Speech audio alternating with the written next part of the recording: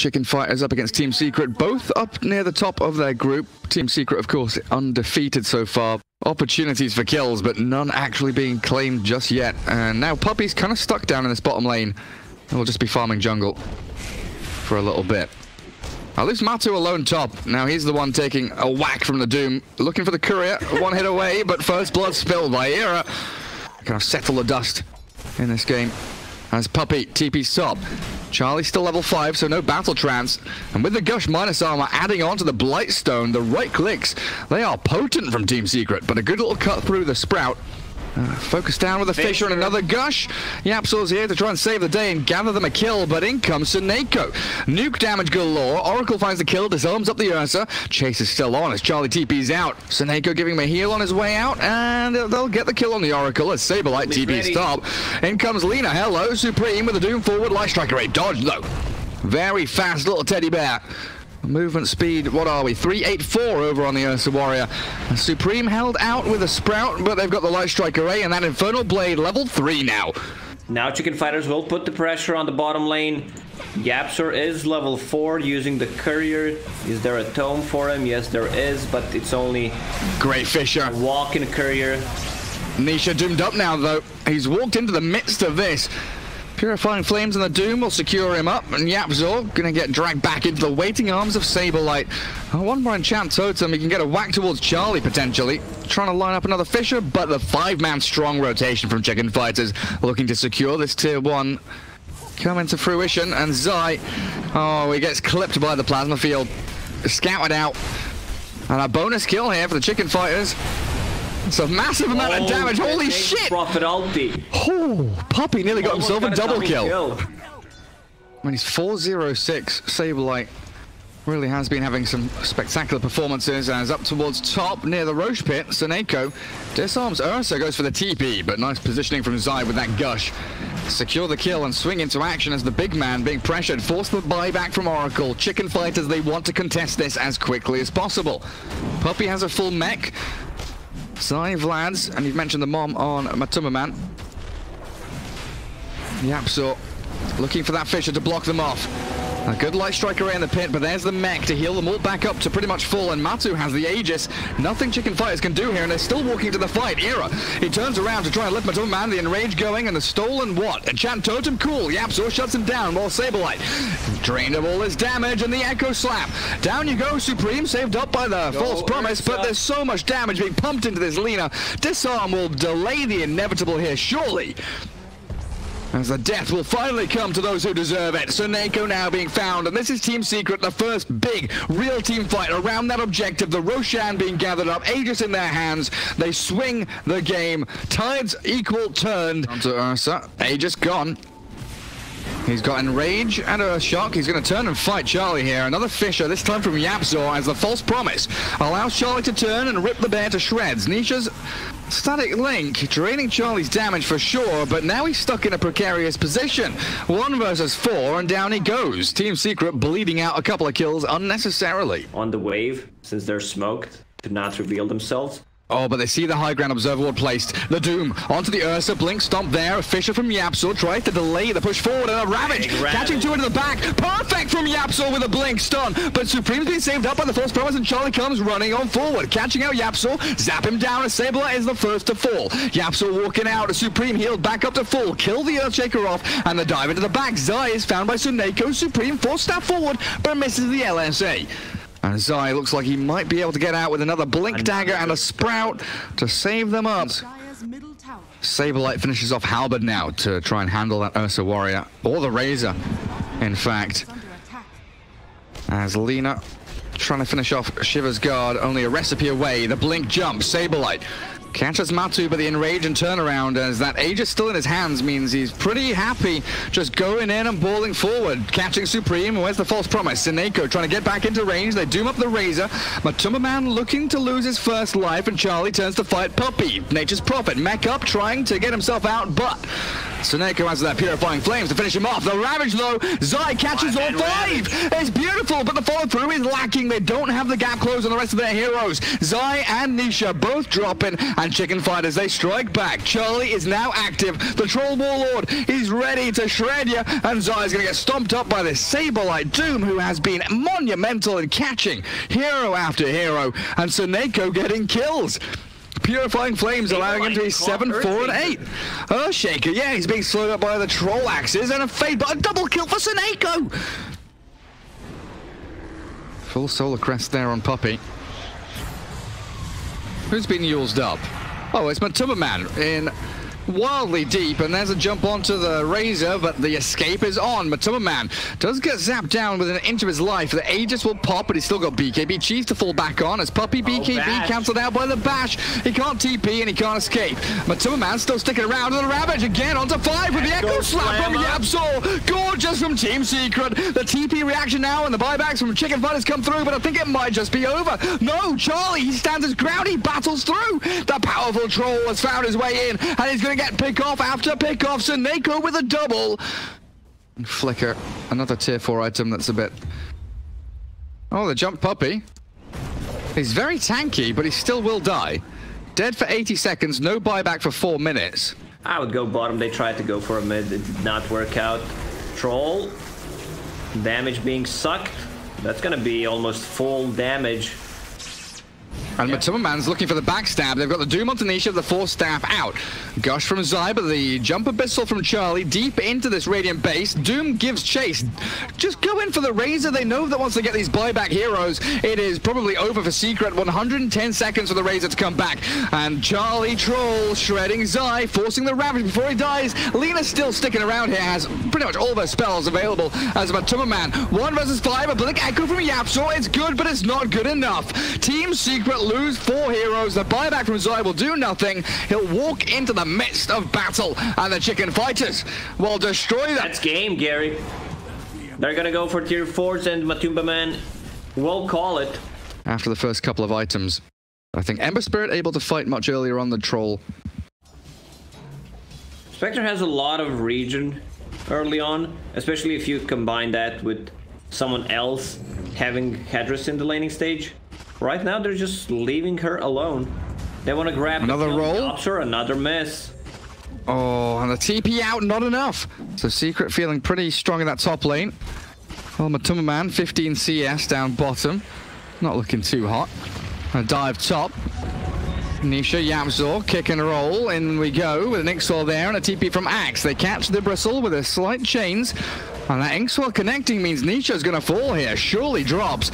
A dive in from the Supernova Phoenix, though, is beautiful. The Pyramid burning them all alive as Charlie, oh, dodges the roll with sleight of fist, but he's still stuck in the trees as Zai dives in. YapzOr kick back across two of them. Charlie alive somehow, but it's a, a double for Zai. He's got an urn, but no more fiery spirits and no dive here means Charlie slight chains and walk away. I kind of expected, and YapzOr has rolled in for that haste rune. And he'll pay for it with his life. Charlie grabs it, bottle refilled. And they sprint straight down to bottom lane. They want this action to continue. Matumbaman has showed himself. Charlie will be able to find the vision on the Spectre. Nether Ward plopped down by Era, blast him up. They've got a Spectral Haunt to jump away. And up to top we go. So the aggression turns. Saberlight TPing out. It looks like he's going to be successful. Back to Fountain we go. Radiant scan. And there's the axe call. Trying to bring down the tanky Nisha Bristleback though. As he Soulbind double connecting in with a double suck, the drain out, and Puppey, YapzOr, Zai all falling. Now it chains onto Nisha. Gonna bring the Bristleback down as Chicken Fighters. Beautiful defense on their tier 1 mid. Faded Brooch, Arcade, like I you know, comparing it to like any of the other tier 1 and tier 2 items, there's a lot of tier 1 items you'd keep over a Philosopher's Stone. But it does feel good when you're behind. Trying to catch up as they get the Will-O-Wisp. Potential Supernova combo. Jump in from the Spectre, haunting onto Suneko. They get the Soulbind onto the Spectre. Bristle back now with a double decrep, but there's no life drain coming. The kill onto Supreme in the back. They're focusing Morphling. Five heroes strong with the rollout. He's turned into Earth Spirit and the Blink Call. Catches the Bristleback, but the follow-through is lacking. Chicken Fighters, they've got to bail away from this one. Secret have blown their massive team fight combo, and all they got was a Grimstroke die, uh, death into buyback. Morphling going in. Blink Call on Kotal.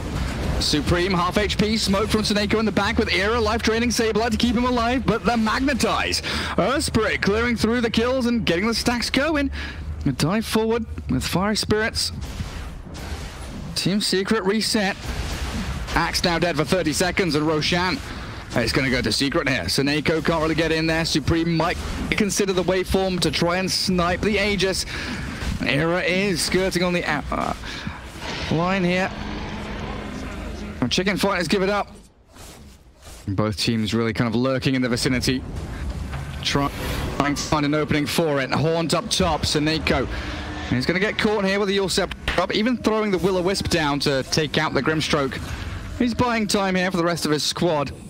Dead for 70, but with buyback, so Roshan still Potential here double for Chicken Fighters to contest it, and they jump into the Bristleback. They've got the call and the double damage room, but the disarm from Nisha comes out now. The waveform forward, Nisha still being focused by Charlie and Supreme, but it's the tanky Bristleback. You can't bring him down just like that. And they've also got the Zai Supernova, beautifully placed. The focus from Supreme, he's got to back away. Charlie being drained out. Matumbaman on a killing spree, and well, they've got the catch. Silence him up, stun and kill, even with the Manta style.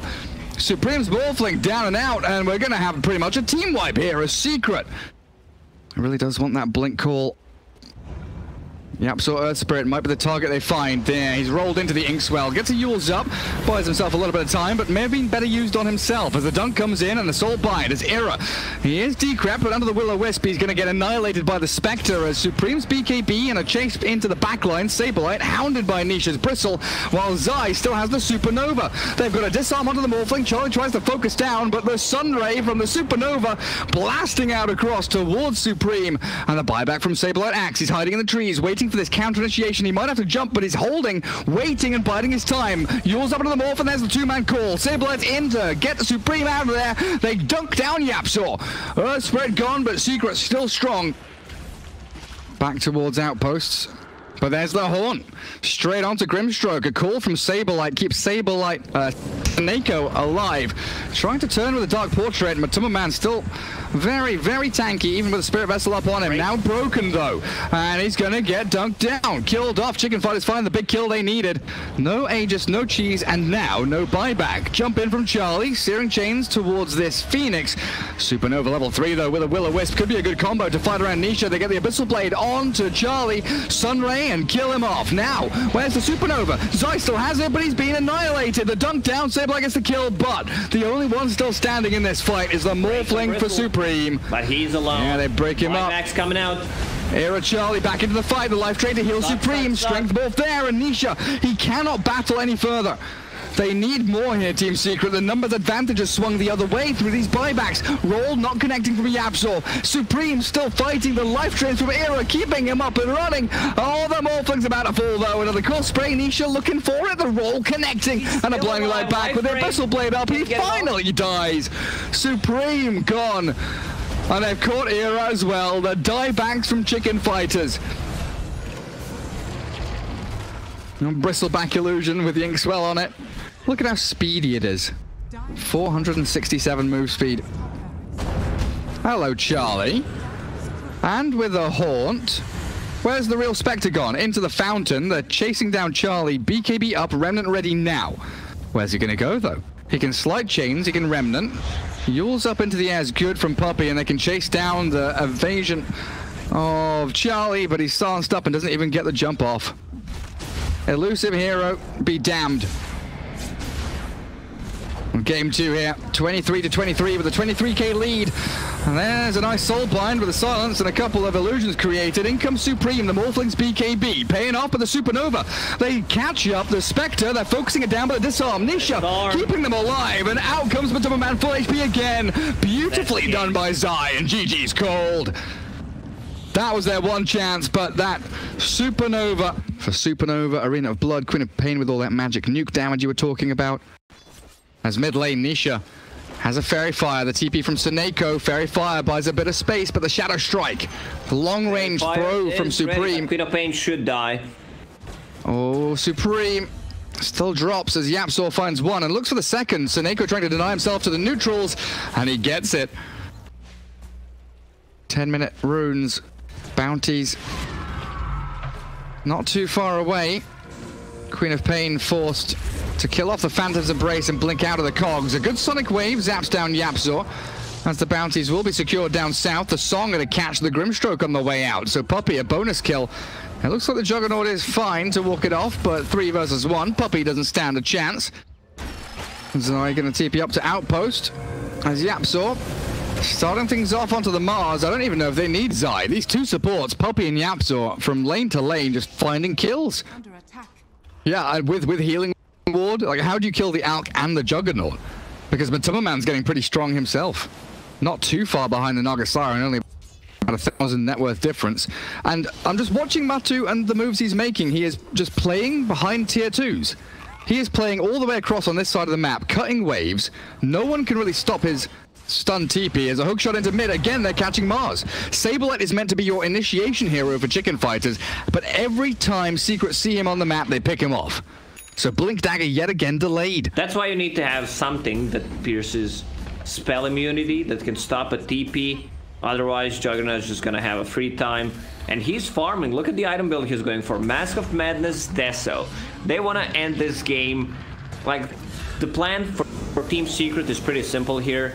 We're gonna push some towers now. We have a lot of tower damage, a lot of sustain with the healing ward. We're gonna get the Rosh and just end the game from there. Puppey still deep in behind enemy lines. They've killed off Era's Phoenix, who maybe could have dived away from danger.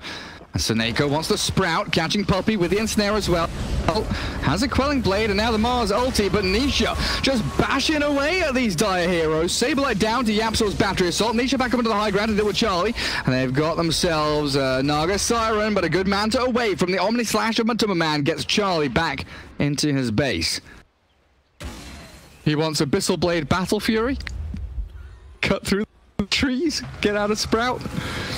Why the hell not? Stance onto Queen of Pain. The chain stuns are there. The Soul Bind is perfect as well. Mars gets caught up in it, even with the Arena of Blood down. There's nothing the Chicken Fighters can do.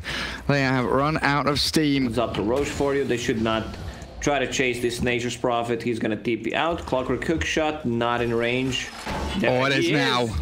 Long range. YapzOr gets there to help out Zai find a kill. While look at Matu Nisha with one melee creep. They're on the top of the high ground battering away at tier three. Oh yeah, this is going to be what Alchemist's Alchemist's uh, 10th win of the group stage. So it's going to be 12 games, 10 wins and two losses. It looks like if it continues this way, because Secret are dominating. Cancel out the Sunray from Era. They do have a pretty decent team fight combo here, but Puppey's in the backline stopping the Mars initiation. The Supernova is not used. Supreme is jumping towards the Grimstroke, but even with that Sonic Wave, he's being obliterated. Now the Supernova comes, but the right click's arriving. Sprout him up, but it's not enough. Suneko trapped in his own base, buyback from Era's Phoenix, but Nisha is unstoppable. The big bad purple boy whacking people into the ground. Sunray down, but the Aegis is there. Second life for the Alchemist as the buildings being focused and Mars dead yet again.